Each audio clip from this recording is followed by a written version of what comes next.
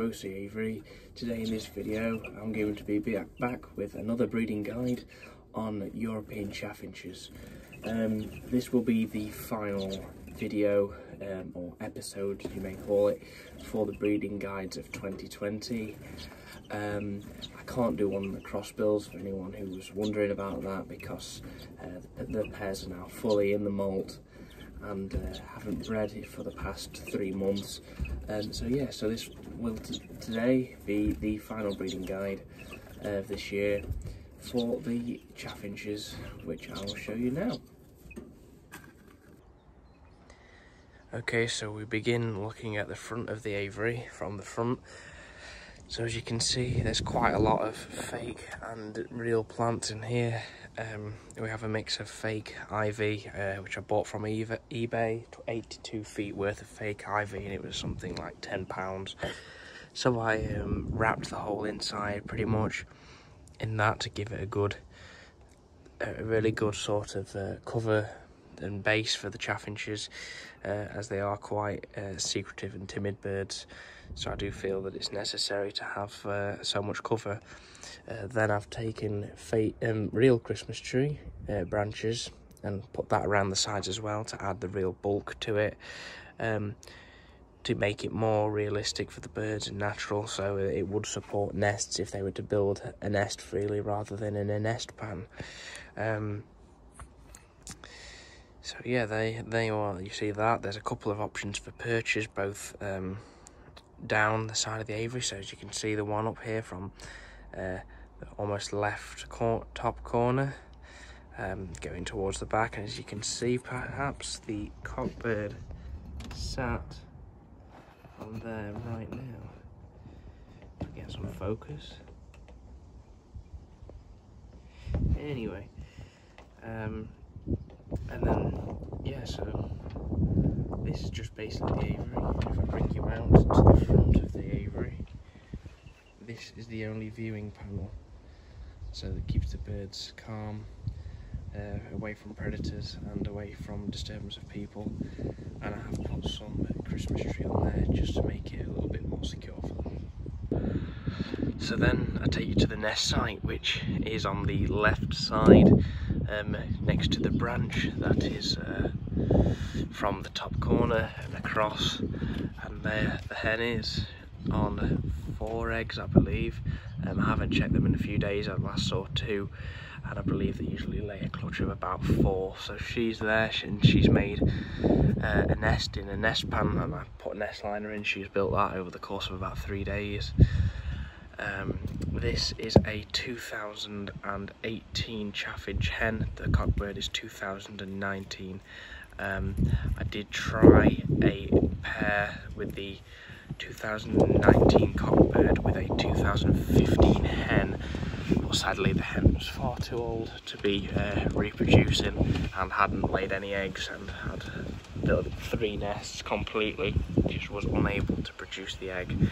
Um, so yeah we ended up swapping the uh, the hen out for this younger hen uh, who has now gone down twice for me uh, the first round we had all going well until a heat spell sadly managed to cook the eggs uh, killing the offspring However, we have now got what I believe to be full chaffinch eggs under this hen. So fingers crossed that these will be full and within two weeks we will welcome some young chaffinches. So then we come to the feeding of the birds. Um, so I just have this little door here. This is my entrance door for them. Um, as you can see, I only topped all this up yesterday, so they do tend to take quite a bit of water at the least. Um, so I, have some uh, medicated water here just with vitamins in and a little bit of uh, dewormer. I give them the option of seed, obviously they've eaten quite a few of that, um, even though they are pretty much uh, completely insectivores during the breeding season. We then go here, so I just give them a bulk of dry mealworms. Um, I find this works best because it's far cheaper to be feeding them uh, dry mealworms, which you can buy um, probably a kilo of, which will last a while for one pair for about five pounds. Whereas if you're looking at a kilo of live mealworms, Um, one, you know, you're looking at 20 quid for that. It's quite expensive to be fair. And then also you've got to keep them alive and stop them from then uh, growing into the beetles. So I find this is the best way um, to just give them the bulk of that. And then once they're rearing, I'll supply them with pinky maggots, um, which can usually be taken like bought from any um, angling store um, and if not obviously there'll be live mealworms and then give them this supplement um, this is a universal food for um, insectivorous softbills so um, that is a mix of pretty much loads of different grubs um, caterpillars um, cockroaches, mealworms, maggots, all sorts of things like that. Um, and then mixed in with a basically an egg food base. Um, and that cost me about £10 for a kilo and I supply that and it tends to do them really good. Um, and hopefully we'll be rearing on that. Um, I do give them a water dish to bath in, but they've already had a bath today, so that's why that's empty. Um, and we'll need to clean down. So yeah, there you are. That's that's the main diet really. Um, I do give them crushed eggshells in with their seed, uh, just for the calcium uh, to help their chicks grow strong bones as well as producing the eggs. Okay, so now I've shown you through um, the diet of the chaffinches, actually the birds themselves and the aviary. Um, I'll just run you through, through a few little uh, facts and things you'll need to know when you're breeding them. Um, so this is my first year with breeding chaffinches.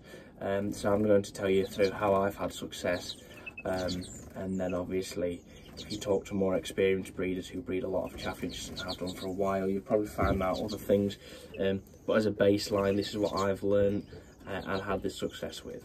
So that aviary they are in is a five foot by two foot aviary. That is not big by any means really. Um, I had actually tried the pair in a eight by three aviary pretty much and uh, I think for the captive chaffinches as well, um, without it being heavily planted, it doesn't suit them. It's far too open. These quite uh, timid birds and um, do like to keep hidden, which is why it works best in that aviary. Um, obviously, the only viewing point you can really see them from is that front uh, like, like, panel, which is about 18 inches by 12 inches. So um, not not a large viewing point, but uh, that gives the birds the privacy they need for breeding um, and to, to keep happy. Really, obviously, the, the birds um, being happy is obviously what makes them breed. If the birds were unhappy and weren't settled, then they wouldn't breed. So uh, that that's worked for me.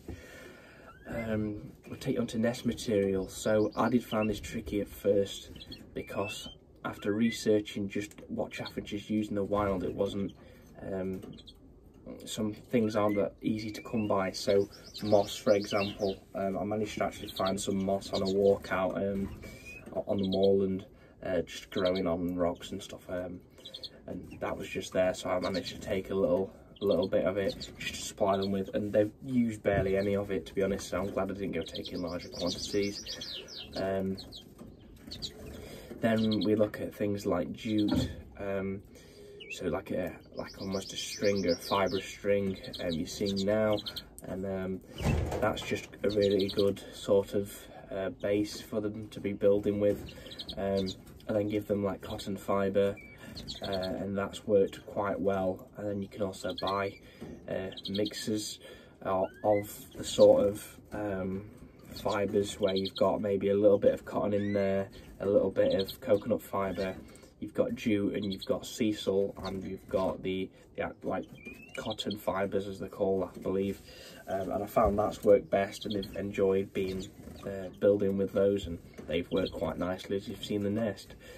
Um, I try to give them a soft sort of lining as well so any natural fibres uh, that aren't sort of um, processed work quite nicely so um, I, found one just online. I'll, I'll put a photo of it on the screen now for you.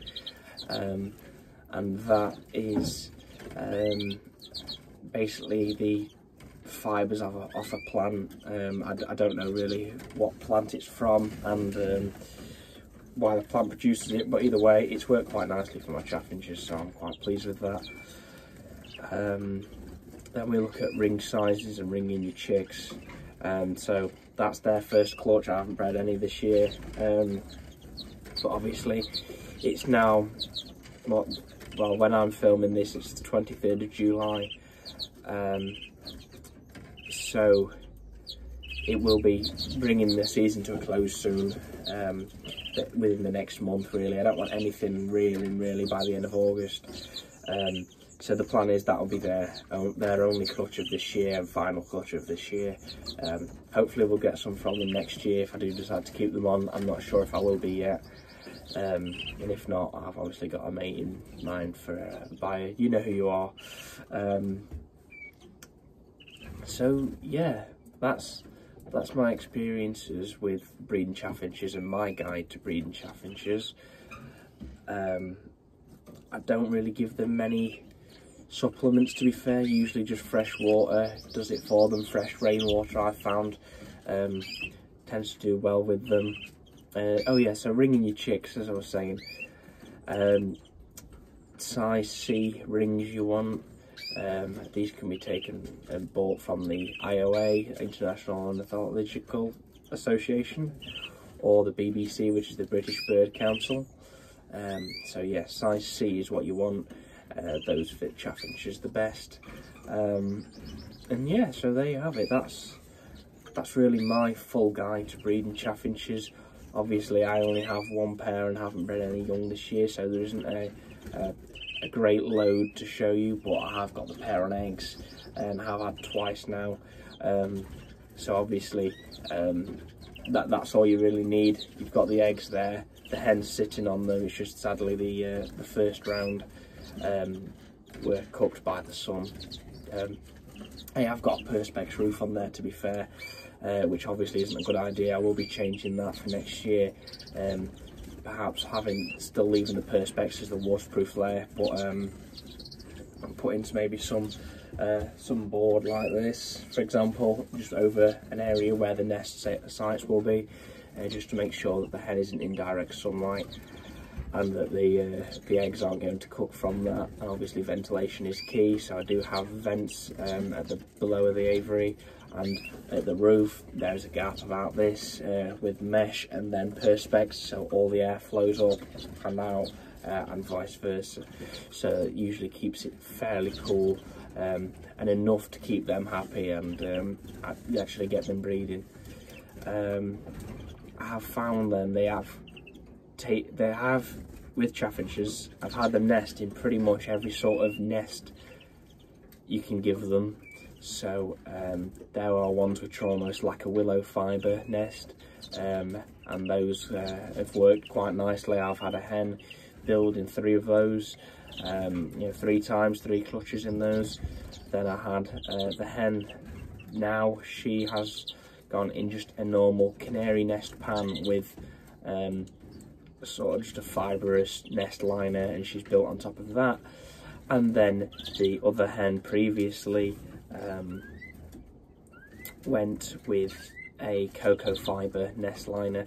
Um, so I've had them go in the basic three options for what what you have as a nest liner, uh, whether that be um, the wicker, the felt, or the cocoa fibre. Obviously, I haven't tried uh, no nest liner. Um, but I find that having a nest liner in just makes it far easier for the birds to start building. Obviously, if you have wire nest pans that losing material through those, and if you have plastic ones, they tend to slip a lot. So always, um, I always try to put a nest liner in there, and it usually does work quite nicely. Um, so yeah, I think we're going to wrap that video up there for today. Um, so thank you all for watching. If you're new here, please subscribe for more content on the British bird. Um, obviously, the the more recent the videos coming very soon will be uh, probably a lot more interesting to be fair with seeing all the young I've bred this year uh, the new developments then we start looking at the show team uh, and who we will be keeping for the shows and who will be going and uh, not continuing here for breeding purposes um, so yeah please subscribe if you're new uh, like this video and share it please and i will see you in the next one.